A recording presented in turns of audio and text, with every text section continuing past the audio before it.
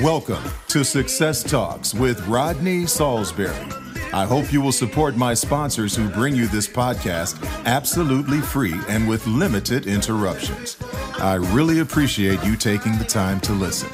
I'll get started in just a second. Has anyone ever said to you that you have a nice voice and you should get into voiceovers? Well, this is your chance to find out how to do that online in Rodney Saulsberry's voiceover online seminar for beginners only. You can find out what it takes to be a voiceover artist. And here's the beauty of this online seminar you don't have to be there. When you register, you will automatically get a copy of the seminar. Go to my website at rodneysaulsberry.com and sign up today. Welcome to Success Talks for this special episode. Today, we are going to talk about a new movie that's coming out this Friday called Black Panther. The film is already a box office smash, with advanced ticket sales as early as January already selling out. And it stars Chadwick Boseman. Recently on Good Morning America, Chadwick talked about how the movie has already been selling out in theaters with advanced tickets. He says it has a lot of substance, and it's been amazing to see the fans embrace that. I didn't know how other people would feel about it, Boseman said. I knew just from the comic book what a Black Panther movie could be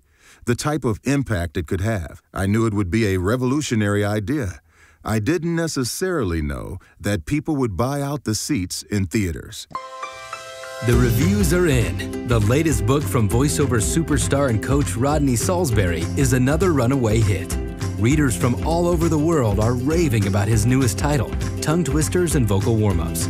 You can find this and his other titles at the top of the voiceover bestsellers list on Amazon.com. The Black Panther character made its Marvel debut in 1966 as the first black superhero of African descent in mainstream comics. And the film has given the character new life, Boseman said. This thing has taken on its own life. It's amazing to watch how excited people are. Boseman said he's seen firsthand at advanced screenings how the movie affects audiences. There is a sense of pride that I've seen from most people when they come out of the theater that is a very unique experience across the board, whether they're African American or African or white or Asian. He continued, it's not just the thing of adapting the characters of this particular film, but finding their own sense of character, which is a very, very interesting thing that I have never seen before. The 41 year old said he hopes this presentation of a black superhero will inspire younger people. It's important because I didn't have this growing up, Boseman said.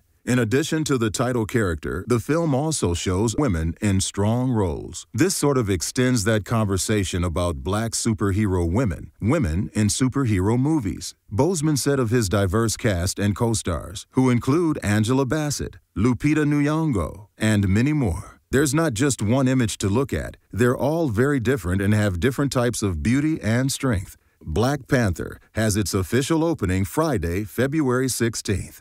Be there. Both Marvel Studios and ABC News are owned by Disney. You can listen to any of Rodney's podcasts at any time. Go to rodneysaulsberry.com. I hope you enjoyed this podcast, and I urge you to listen to future podcasts where I will continue to try and make you better than before. My goal is to point you in a positive direction to success right here on Success Talks with me, Rodney Saulsberry.